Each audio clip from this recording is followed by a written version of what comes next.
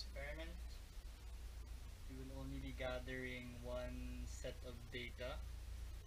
So we, will be measuring the voltage across the uh, generator here from this multimeter. We're going to be measuring the amount of head available at the nozzle. We're also going to be measuring the RPM of the Pelton wheel. And also the volumetric flow rate here.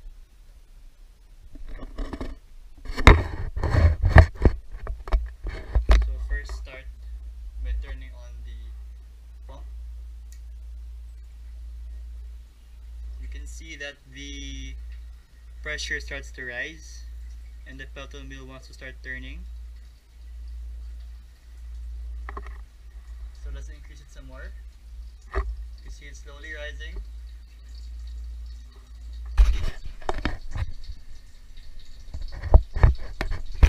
So this experiment will be uh, at a constant head. So we will be using uh, 85 centimeters as our constant head. So I will increase it until it reaches 85.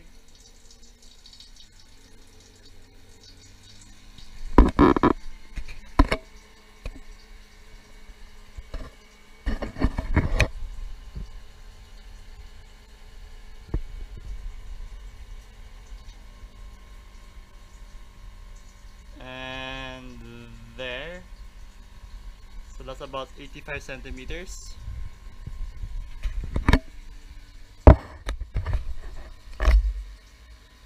so we'll start off by measuring the voltage across the generator and right now we are applying we are connected across the two uh, 20,000 ohm resistor. This is a 10k ohm plus a 10k ohm in series. This is the full bridge rectifier. It's the electric generator. So the voltage across is around, I don't know if you can see it, but it says 9.4, 9.4 volts. That's DC. So we write that down, we take note of that. We also take note of the load, which is uh, 20,000 ohms. And then next we will be measuring the RPM of the Pelton wheel. You can see the the infrared sensor start to blink because there is a I drew a black line at the Pelton wheel in the runner of the Pelton wheel.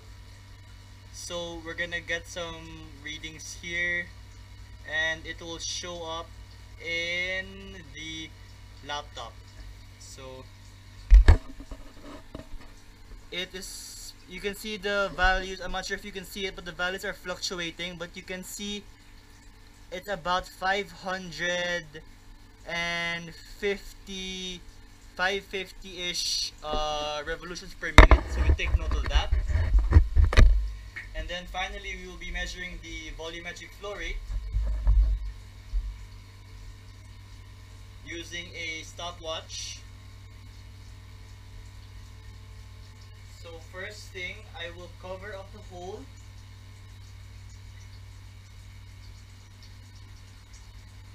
With the suction cup.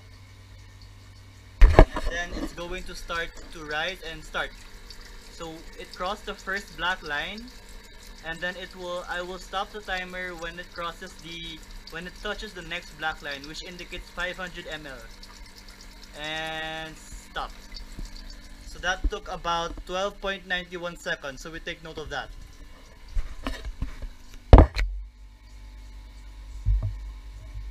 And now I will remove the uh, cover so the water will start draining again.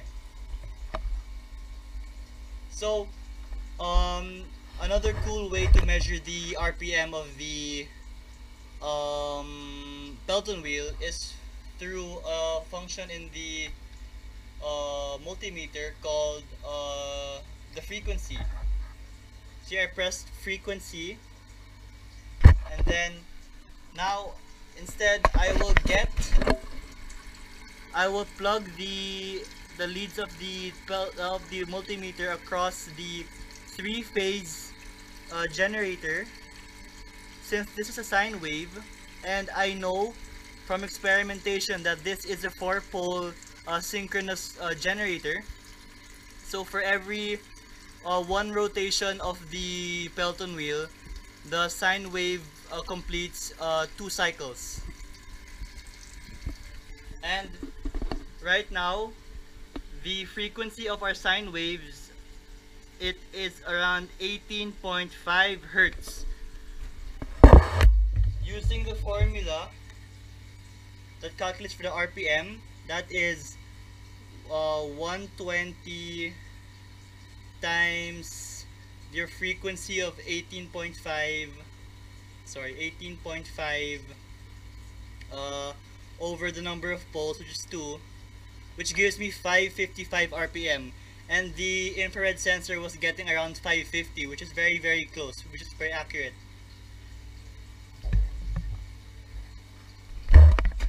so once you gather all that data you just have to tabulate it and uh, move across the load. So get all that data and then unplug this and move it across in the next uh, resistance. And then do the whole thing again and then keep going down. That's all